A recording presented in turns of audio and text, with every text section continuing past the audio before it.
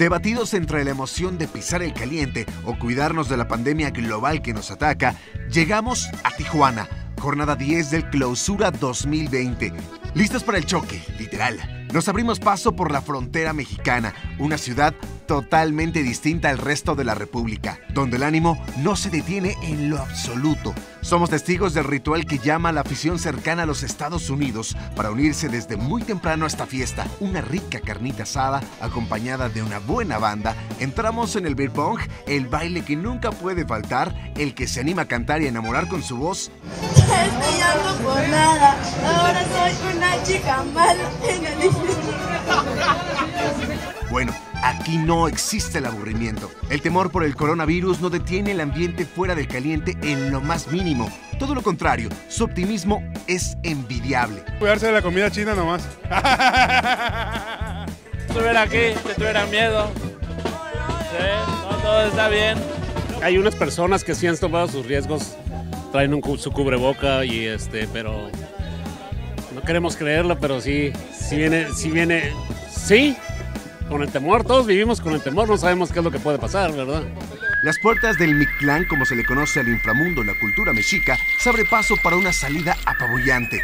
Luces rojas inundan el estadio para hacernos pensar que no será un día fácil.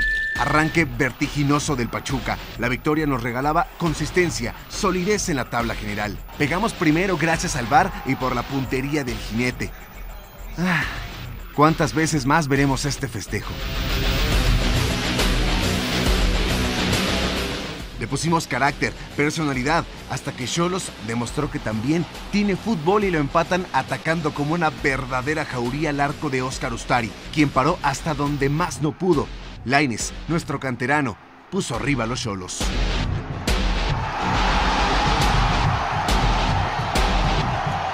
En este punto, el partido se rompió. Ya no encontramos el camino. Cuando nos dimos cuenta, el tercero ya lo estaban gritando en la grada. Descontamos con un gol a puro riñón de Franco Jara y con eso nos acercamos al empate. Corrimos, luchamos y nos rompimos hasta la ceja por esta playera.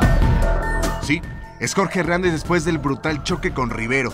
La espantosa cortada no fue pretexto y aún así regresó y luchó como se tiene que hacer después de perder una ventaja. Sí, nos regresamos con las manos vacías, sin una revancha por lo pronto, obligados a parar ante la situación mundial. No sabemos cuándo regresará el fútbol, pero sí sabemos algo. Lo haremos con mayor decisión que nunca. Más o menos nos imaginamos eso sobre lo que está pasando este, en el mundo. Hay que hacer conciencia y, bueno, ahora es que esperar este, cuándo, va a ser la fecha que, que se programe.